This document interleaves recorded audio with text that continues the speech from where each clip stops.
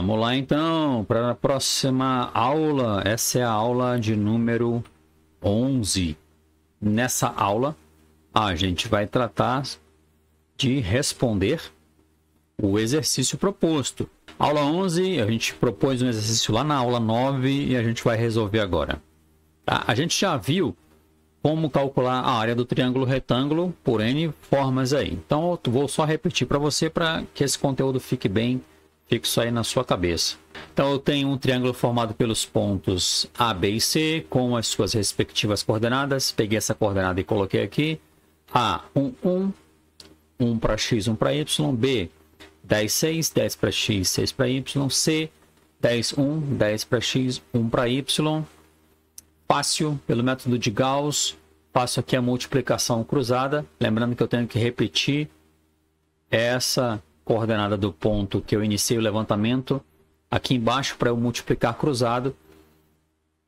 Aqui está a multiplicação, coordenada x de A pela y de B, que é isso aqui, ó. Esse vezes esse, depois esse vezes esse, depois esse daqui eu pego e repito aqui embaixo. Deixa eu melhorar aqui essa apresentação. Então você faz isso aqui, ó esse vezes esse, mais esse vezes esse, mais esse vezes esse. Salva esse valor.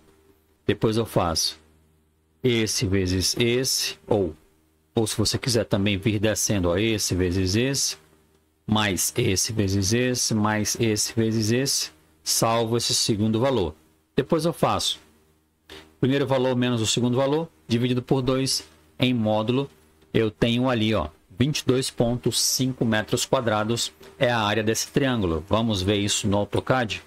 Vou chamar o comando área, vou pedir os vértices e vou pedir 22,5 metros. Então bateu certinho nossos cálculos. Vamos voltar lá.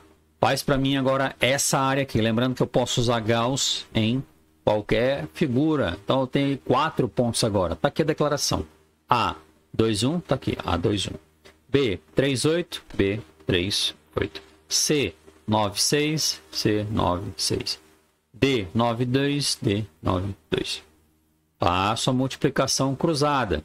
Lembrando, repito aqui, ó, a primeira coordenada aqui embaixo, para que eu saiba que eu vou multiplicar assim, ó, em diagonal, esse vezes esse, mais esse vezes esse, mais esse vezes esse, mais esse vezes esse. Depois Salva esse valor, faça a multiplicação na outra direção agora. Esse vezes esse, mais esse vezes esse, mais esse vezes esse, mais esse vezes esse. Segundo valor, subtraio um pelo outro, divido por 2 em módulo. Vou ter aí 36 metros quadrados. Então, tá aqui a, a, multiplicação. Se você quiser fazer esse estudo com outra área, não tem problema, é só trocar os valores aqui nessa matriz, tá? Vamos ver se deu 36 metros quadrados mesmo. Aqui no AutoCAD, chamar o comando área, vou clicar nos quatro vértices. Me dá o resultado 36 metros quadrados. Legal, ótimo.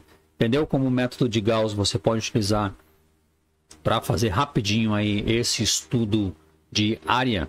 Claro, Nessa figura aqui, para eu saber as distâncias, aí eu já precisaria, se eu tivesse em campo, fazer esse cálculo, essa medição que eu vou ensinar para vocês aí ao longo do curso. E essa área aqui, uma área bem não tão complicada, eu poderia dividir aqui em três triângulos, fazer pelo método de Heron o cálculo das três áreas, depois só somar o resultado.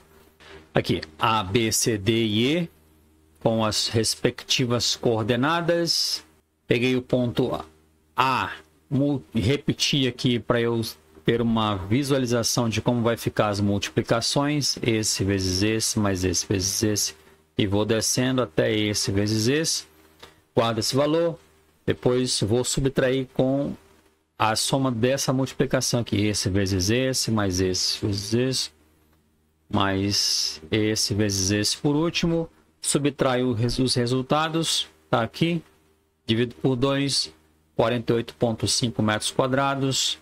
Vamos lá no AutoCAD, área, e clico nos vértices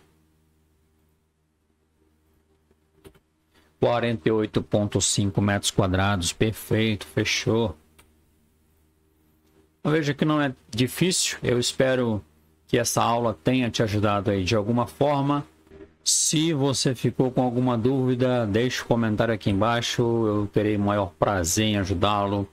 Eu desejo muito boa sorte, bons estudos. Não perde, a próxima aula está interessante também. A gente se vê na próxima aula.